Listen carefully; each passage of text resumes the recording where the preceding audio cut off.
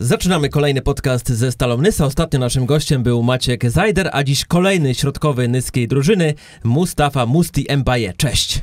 Witam serdecznie wszystkich. Witają was także Andrzej Babiński i Łukasz Bressa. E, powiedz Musti, jak ty spędzasz tę przerwę od rozgrywek? E, jak ja spędzam tą przerwę od rozgrywek? W zasadzie niczym, e, znaczy różni się to tym, że nie rozgrywamy teraz żadnych spotkań, ale no, trzeba cza- cały czas trenować i, i gdzieś tam to jest e, priorytet, jeżeli chodzi o, o tą przerwę, żeby po prostu utrzymywać się w, w gdzieś tam w jakiejś dyspozycji, żeby później gdzieś, e, gdy będziemy wracać do tych treningów e, z całym zespołem, to żeby po prostu nie było takiego e, szoku. A też jest to czas, w którym można popracować nad, e, nad jakimiś swoimi e, mankamentami, też zadbać o swoje zdrowie, wiele ćwiczeń jakichś funkcjonalnych, więc też można to e, powiedzieć, że jest to taki troszeczkę warsztat, bo, bo można po prostu gdzieś tam się przygotować pod e, względem fizycznym. A nad czym ty szczególnie pracujesz w tym Nad, okresie? czym- nad czym ja szczególnie pracuję? Albo inaczej, co masz w tej rozpisce od trenerów? Tak, tak. Wiesz co, to w- wygląda e, na tej zasadzie, że e, można budować w tym okresie na przykład e, gdzieś tam wytrzymałość mięśniową albo siłę, Mhm. e, żeby później po prostu gdzieś, wiadomo, że też my mamy swój cykl, e, gdy wchodzimy z drużyną w trening, więc trzeba to dostosować do tego, co my e, będziemy e, robić, e, co, nad czym będziemy pracować w tym okresie naszym przygotowawczym. Więc w sumie w zasadzie jest to taki okres przygotowawczy do okresu przygotowawczego, że tak powiem, bo e, no, trzeba być e, przygotowany ta, na te obciążenia, które są e, wysokie w okresie przygotowawczym. Mhm. Wtedy gdzieś tam trenujemy najwięcej. W sumie opiera się to na tym w okresie przygotowawczym z drużyną, że e, my trenujemy, jemy i śpimy. Mhm. I w zasadzie nas w tym okresie przygotowawczym nie ma w ogóle na jakiekolwiek Wyłączeni inne... jesteście. Wyłączeni totalnie i przynajmniej ja tak to odczuwam. Jestem totalnie na tym skupiony, więc dobrze jest się przygotować właśnie do tego okresu przygotowawczego, e, a też e, jest czas na takie e, inne aktywności fizyczne, sporty, na które w, w sezonie po prostu nie ma czasu, czy, czyli na przykład bieganie, czy ktoś lubi jeździć na rowerze, e, po prostu gdzieś tam, żeby zawsze tą tkankę tłuszczową przepalić, żeby ona się tam przypadkiem nie odkładała. A ty biegasz, czy jednak rower? Ja biegam, ja Mhm. biegam e, i gdzieś tam nigdy nie, jakoś tak niespecjalnie lubiłem takie długodystansowe biegi, ale Mhm. gdzieś, e, gdzieś się przekonałem do tego, dlatego że jest to taka w miarę szybka forma e, po prostu osiągnięcia takiego zmęczenia i satysfakcji po treningu, więc e, zacząłem biegać, a poza tym też w Nysie o tyle przyjemniej się biega, że, że są bardzo ładne tereny, na których, po, gdzie można biegać, czy to na, Chciałem o to właśnie zapytać. Jaka miejscówka? Mi- O miejscówkę, dokładnie. ja biegam sobie na, e, w stronę Białej Nyski, e, na jeziorko Aha. i robię sobie takie e, kółeczko, więc to jest bardzo fajna, e, fajna dla mnie jakby opcja, bo no, to też jakby e, ma znaczenie. Ja na, na przykład, jeżeli jestem z Trójmiasta, więc jak między sezonami gdzieś jak grałem w Gdańsku, e, gdzieś się przygotowywałem, no to na przykład e, biegałem no, w mieście, nie? No to to jest troszeczkę inny, taki Mhm. miejski running, to jest zupełnie Inna bajka. i, inna Ale bajka. mówisz, ta trasa wzdłuż wału. E, tak, tak, tak, tak. Więc To też moja miejscówka także. tak, no, wydaje mi się, że tam dużo osób e, biega, czy tam jeździ na rowerze, bo jest to, czy nawet na spacery. E, A to, to może inaczej, ja biegam o siódmej, a ty? Oj nie, ja nie biegam nigdy. 12? Nigdy, 13? nawet, nawet później, nawet, Aha. nawet później, ja biegam gdzieś tak o godzinie 15, tak sobie e, planuję raczej dzień, że z rana, gdzieś w, w sezonie mamy tak, że treningi zawsze są te siłowe e, o godzinach porannych, a popołudniowych są treningi siatkarskie. I gdzieś tam po prostu sobie to odwraca. e, Tak raczej staram się w godzinach, w których ja miałem siatkarski trening, wykonywać tą aktywność fizyczną, które, którą właśnie tam sobie zaplanuję danego dnia. Czy to nawet siłownie, czy to też bieganie. To teraz Łukasz chyba więcej pan będzie biegać o 15. Tak może być. E, tak, zapraszam serdecznie, zapraszam serdecznie. Będzie, może, ja, może ja będę w stanie dotrzymać tempa, bo, bo naprawdę widzę, że, że niektórzy k- y, osoby, które tam biegają, Są to wprawieni. są wprawieni i, i, i no, pocinają strasznie. Tempo, nie? A ja Narzucają. jestem, jestem gdzieś tam jednak siatkarzem, więc to bieganie nie jest gdzieś tam w, w specjalnym specyfice mojego sportu potrzebne, aczkolwiek tak jak mówię, ona jest bardzo relaksująca i też jest fajną odskocznią od tych takich wszystkich ćwiczeń, które my wykonujemy w sezonie. Mówisz o aktywności fizycznej, ale też musi być czas na odpoczynek, na regenerację, na króciutki urlop. Y, Gdzieś się wybierasz na taki właśnie urlop? E, no Bo macie, bo macie przerw, przerwę do końca czerwca. E, tak, tak, tak. Znaczy jeszcze chyba e, planu, e, terminarz e, rozgrywek plus ligi na nowy sezon nie został, wydaje mi się, ustalony. E, trzeba też brać pod uwagę, że to jest sezon olimpijski i też liga będzie musiała uwzględnić to, że ci zawodnicy klubowi e, mogą być e, właśnie na, na, na turnieju. Czy to u nas w drużynie mam nadzieję, że Marcin Komenda, Mhm. się załapie, czy w- Wasim Bentara, też wiem z tego, z tego co wiem, to ma szansę swojej reprezentacji pojechać na igrzyska. E, no, więc wracając do czego, jakie było pytanie? E, O urlop, czy gdzieś o się urlop. wybierasz na tak, urlop? o urlop. E, no, chciałbym, aczkolwiek wiadomo jaka jest sytuacja. Wiadomo jaka jest sytuacja, więc e, trzeba gdzieś tam korzystać e, ze wszystkiego dostępnych, że tak powiem, e, form urlopu.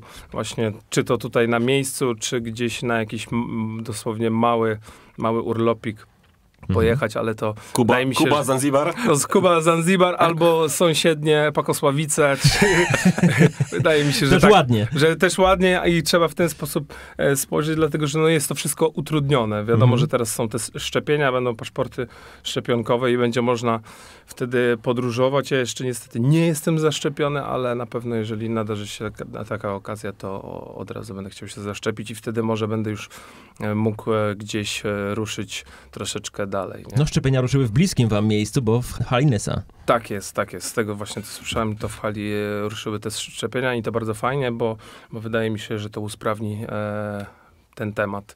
A, a chciałbym i chyba wydaje mi się, że wszyscy sobie tego życzą, żeby jakby świat wrócił do swojej normalności. Mhm. Ale nie ma takich wymogów z Plus Ligi, że macie miesiąc, żeby się zaszczepić, albo dwa miesiące. Na, na, razie, na razie nie, na razie nie, ale wydaje mi się, że to jest kwestia czasu, dlatego że w, z tego co wiem, jak gdzieś tam interesuję się też piłką nożną, śledzę piłkę nożną czy, czy koszykówkę, no to w, w tych takich no, potężnych ligach e, to jest tak, że, że, że oni muszą się zaszczepić, ponieważ e, no, wydaje mi się, że to też wygląda tak, że no, te ligi generują potężne przychody, i gdzieś tam e, oczy całego świata są zwrócone na, na te ligi i oni, i oni są zaszczepieni. E, I możliwe, że w Plus Lidze też to wprowadzą, aczkolwiek wydaje mi się, że w pierwszej potrzebie byli wszyscy ci ludzie, którzy gdzieś tam byli na, narażeni e, najbardziej na, na, na tego wirusa i na skutki tego wirusa, aczkolwiek ja tam nie jestem ekspertem. Wydaje mi się, że każdy może e, przeżyć to na swój Mhm. sposób i też może, może być osobą młodą czy sportowiec zdrowy, więc. Ale nie wchodźmy w te tematy. Może E, przejdźmy właśnie do tak. tematów siatkarskich, y, tematów związanych ze Stalą Nysa. Powoli, powoli zespół odkrywa karty. 19.48 to jest ta godzina, y, gdzie co kilka dni na Facebooku Stali możemy dowiedzieć się, kto zostaje, kto odchodzi. Ze Stali wiemy, że ty zostajesz, zostaje Patryk Szczurek, zostaje Maciek Zajder, zostaje Marcin Komenda. No właśnie, mówiliśmy tutaj też w jednym z wcześniejszych podcastów, że będą wzmocnienia na twojej pozycji, na pozycji środkowego właśnie. Tak, tak. Z tego, co, z tego co wiem, to będzie wzmocnienie na tej pozycji. E, No i fajnie, tylko się, nic tylko się cieszyć. Wydaje mi się, że my wszyscy musimy indywidualnie, jak i zespołowo e, czynić e, postępy i e, gdzieś tam dążyć do tego, żeby progres był na, i na pozycjach, i też e, wspólnie jako kolektyw. Bo to też fajnie chyba napędza rywalizację na tej pozycji. Jasne, że tak, jasne, że tak, a też e, jakby trzeba też się uczyć od, od siebie, więc Mhm. wiadomo, że czy to Maciek jest starszym zawodnikiem, czy, czy Michał Ruciak. Co wy z tym wiekiem Maćka macie? Tak, wydaje, może nie, nie tyle, że co starszy, tylko do Lekko, bardziej lekko po doświadczony. 30. Tak, bardziej, bardziej Doświadczone, doświadczony. dobre tak. słowo. A za, i zawsze istniało e, coś takiego, że st, e, gdzieś e, starszy zawodnik i to stażem, i to wiekowo, e, to po prostu gdzieś tam dzielił się tym e, doświadczeniem. Mhm. Wiadomo, nie wszyscy, nie, nie, nie zawsze tak bywa, ale, ale jest to ważne, no bo po prostu to pozwala jakby drużynie iść do przodu, nie? I, i na tym to polega, a e, też po prostu e, taka rywalizacja na pozycjach, która oczywiście istnieje i gdzieś tam my walczymy o to, żeby, żeby wychodzić na to boisko, no to i tylko, tylko na plus dla nas wszystkich. Mhm. Ale powiedziałeś iść do przodu. E, Jesteście gotowi na walkę o tą pierwszą ósemkę? Jest taki potencjał? E, Wydaje mi się, że no, jako sportowcy nie możemy, jakby my musimy być, jesteśmy, wydaje mi się, ambitni i, gdzieś tam na tym to polega, żeby mierzyć. Poprzeczka coraz mieć- wyżej. Tak, no wiadomo, no gdzieś tam e, ja patrząc na sezon plus ligi, no to mówię, "Pff, kurde, no, walczysz po to, żeby wygrywać. No, Mhm. Najchętniej to chcesz zająć to pierwsze miejsce. Wiadomo, że trzeba mierzyć e, siłę na na, zamiary. zamiary i czasami k- trzeba się troszeczkę sprowadzić na ziemię, e, ale no, trzeba do te, w ten sposób do tego podchodzić, a na końcu dopiero spojrzeć na to, gdzie to pozwoliło, na, gdzie to nas zaprowadziło. E, taki cel jest gdzieś tam postawiony, że, że e, teraz trzeba zrobić kolejny krok i awansować do tej ósemki. To będzie marzenie, którym my, my będziemy żyli cały sezon i, i Mhm. będziemy się do tego przygotowywać. To I będzie, kibice. Tak, kibicem. To będzie nam gdzieś tam przyświecało. No i będziemy robić wszystko, żeby to się udało. Mhm. A jak wyjdzie na końcu, no to, to zobaczymy i mam nadzieję, że spotkamy się tutaj e, za rok o tej samej porze i będziemy rozmawiać o tym, czy jesteście gotowi na medale. No wszyscy trzymają kciuki na pewno. Trzymamy za to bardzo Tak. mocno kciuki. Wróćmy jeszcze na moment do twojej pozycji, do pozycji środkowego, bo wiemy, że ty zostajesz w drużynie, zostaje też Maciek Tak. Jak ty zareagowałeś na tę wiadomość, że Maciek będzie kończył po zbliżającym się sezonie karierę? E, no... Troszkę względu na wiek, wydaje mi się, że to nieuchronne było. nie, oczywiście, że, że no, taki troszeczkę byłem z- za, zaskoczony, aczkolwiek ja rozmawiałem też e, z Maćkiem. Maciek coś tam delikatnie gdzieś Przebąkiwał. tam przebąkiwał, że, Mhm. że może coś, będzie coś takiego rozważał. Decyzja należała do niego i, i wydaje mi się, że e, on sobie akurat świetnie poradzi e, po, e, po przygodzie z, z siatkówką.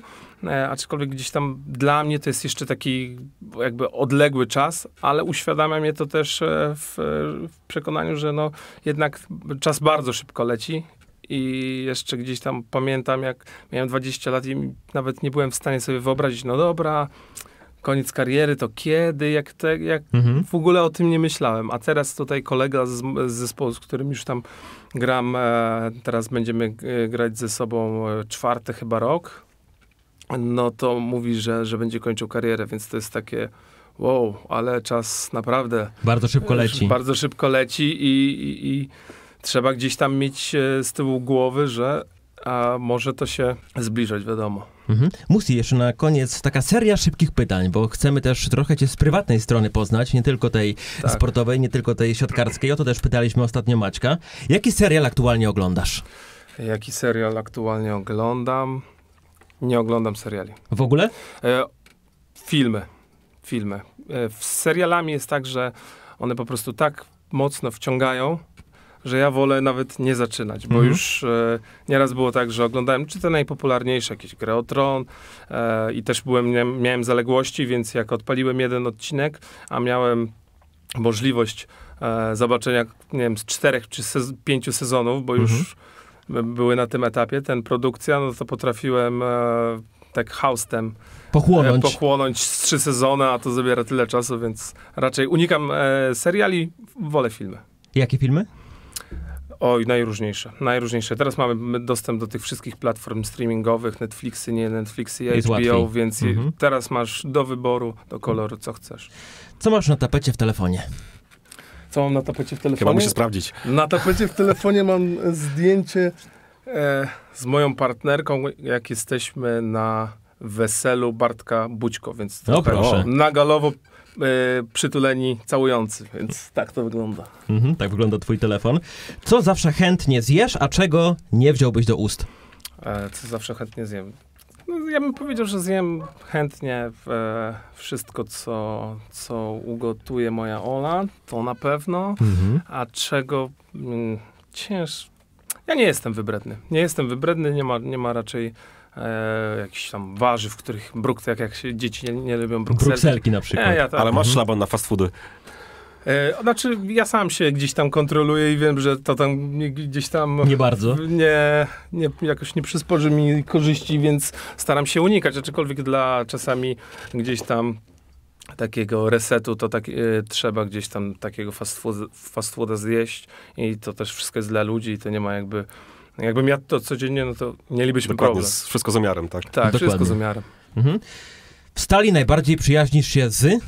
W stali najbardziej przyjaźnię się z... Mm, trudne pytanie, dlatego że ja z chłopakami, z niektórymi się znam bardzo długo, takimi jak z Patryk Szczurek. Wiele razem przyszliśmy, e, byliśmy razem w Częstochowie, w drużynie, która się rozleciała, więc to też takie e, sytuacje życiowe e, ciężkie gdzieś tam powodują, że ludzie się do siebie zbliżają. To też mają- cementuje chyba też. Cementuje Mhm. też, bo, bo ma się ra- razem wspólne doświadczenia i te dobre, I te złe. bo tam wygrywaliśmy ligę i, i te złe, no bo, bo klub się na naszych oczach e, gdzieś tam mm, rozleciał. Mhm. E, z Bartkiem też byłem w tym zespole, więc z Bartkiem też jestem na wyjazdach w pokoju. E, z Marcinem Komendą mam świetny kontakt, bo strasznie pozytywny człowiek, więc my też bardzo, bardzo mocno się trzymamy i, i gdzieś tam razem wygłupiamy. Mamy bardzo podobne poczucie humoru, więc powiedziałbym, że z każdym mam coś e, wspólnego. Mhm. Z niektórymi troszeczkę większy, dłuższy staż, z niektórymi nadajemy mniej. na bardzo tych podobnych falach praktycznie. Jak to my, na przykład Brother from Another Mother, Mhm. tak mówimy. Z, Ma- z Marcinkiem to akurat tak mówimy, no bo e, totalnie te same rzeczy nas śmieszą. Głupie, bo głupie, ale to, to tak w ten sam sposób. To na koniec właśnie, a propos tego, co mówisz, że te same rzeczy was e, śmieszą. Kawał, który zawsze sprawdzi cię na imprezie, w towarzystwie, masz taki, że jak rzucisz, no nie ma y, szans, żeby się ktoś nie zaśmiał? Przyszła baba do lekarza.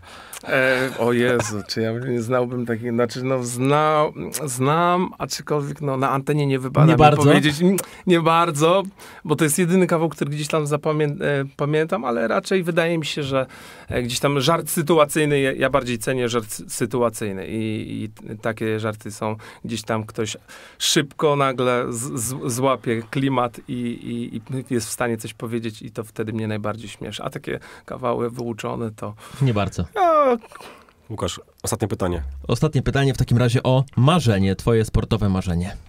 Ja powiedziałbym, że medal, medal Mistrzostw Polski wywalczony e, w jakichś takich e, dramatycznych e, okolicznościach. Tiebreak 3-2, Że- tak? Dokładnie, gdzieś naładowany po prostu przewagi naładowane granie. sp- spotkanie Aha. emocjami, żeby to był taki typowy, klasyczny horror, ale z happy endem. E, to jest, e, wydaje mi się, gdzieś tam takie marzenie, dlatego że po siatkówka wiąże się z, no, z ogromnymi emocjami. I takie na przykład odwrócenie losów spotkania, To jest coś. to jest po prostu uczucie, które jest tak niesamowite, a jeżeli za tym e, poszedłby medal jeszcze, to, to byłoby coś naprawdę wspaniałego i wydaje mi się, że takie na, na, na szybko, gdybym miał powiedzieć, jakie mam marzenie sportowe. No i tego ci życzymy. Tego ci oczywiście życzymy pięknie, ci dziękujemy. Mustafa Musti Mbaye był naszym gościem. Dziękuję serdecznie, pozdrawiam. Dzięki wielkie.